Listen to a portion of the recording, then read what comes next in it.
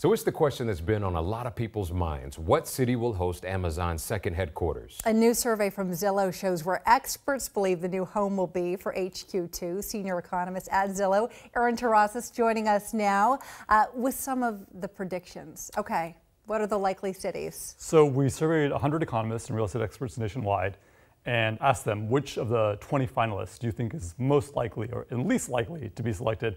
And their top picks, it was a tie uh, were Atlanta and Northern Virginia. Interesting. So, how did you come to that? Uh, I guess that solution there with Atlanta or Nova, Northern Virginia. So, the same number of experts in this 100 expert panel uh, identified both of those two cities as the most likely uh, outcome. Uh, what, what were the qualities, I guess, that those, yeah. those two had above every other city? So they're, they're actually quite common, both obviously in the Eastern time zone, mm-hmm. and also have major international airports. Atlanta's obviously a hub for Delta, uh, Northern Virginia's a hub for United and uh, kind of a, a, deep body of, of skilled labor in, in, both of those communities. In Northern Virginia, you have uh, all the defense industries, a lot of tech talent coming out of that. Was there a standard that needed to be met? So yeah, we asked uh, panelists to, consider the criteria that Amazon has outlined. You know, a, a large major metropolitan area, talent pool, access to public transit, um, and uh, international airports. Now I know that they both have you know, downsides too. What are some of the downsides for both Atlanta and Northern Virginia? That's right. So Northern Virginia is actually one of the more expensive communities right. on this list. There, there were a handful of much more expensive areas, you know, Los Angeles and, and New York were on that finalist, finalist list, and Northern Virginia is still more affordable than those two communities. As far as it, co it comes to Atlanta, um, Atlanta does have a lot of top tier universities, but the industrial base there, particularly when it comes to tech, is not quite as developed elsewhere. How surprised should our viewers be to hear Atlanta and or Northern Virginia? You know, both of these two cities have, have a long and, and, deep experience in kind of these economic development efforts, efforts to attract companies. So, you know, I think the, their leaders and markets are actually betting on Atlanta right now as well. Interesting. Mm. So I've actually heard that from a couple folks who are at Amazon right now. They're thinking Atlanta, but who knows? Maybe they're just being optimistic because they want to go there with the weather. Uh, did, did, either one of those places offer incentives? So essentially, all of the candidate cities are offering incentives to some degree or another, and, and that's obviously a big part of the package and, and kind of what this debate is all about. Hmm. Were there any runner-ups?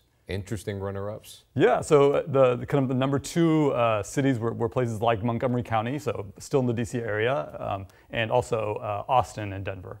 Interesting. Yeah, which I think Austin and Denver have been a lot on people's radar as well. Okay, so the big question: Do speculators go out and invest in real estate in either Atlanta or Northern Virginia right now? You know, I, I think we all have this experience of Seattle in our mind, where you know the the the 50,000 people who have gone into South Lake Union have really driven Seattle real estate over the past kind of half decade or so.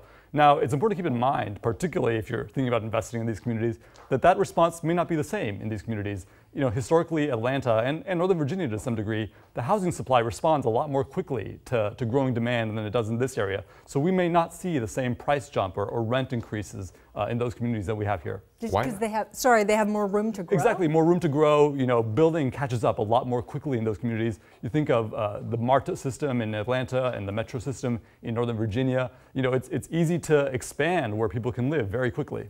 Got another quick question before yeah. we close things out. Why not an international city, just out of curiosity? Right, so Toronto is the one international city, and Canada is international, um, on that list. And you know there are a lot of advantages to, to Toronto. Uh, the kind of the talent pool, access to international talent in particular, makes Toronto very attractive. Toronto is also a very expensive city uh, when it comes to housing affordability. Interesting. Okay. Yeah, we can pick your brain all night. Yeah. yeah. and again, we should point out that this is just what the experts are predicting. Right. Amazon is yet to make that decision, but we are expecting that to happen sometime this year. That's right. Aaron right. Terrazas yeah. from okay, Zillow. Thank you.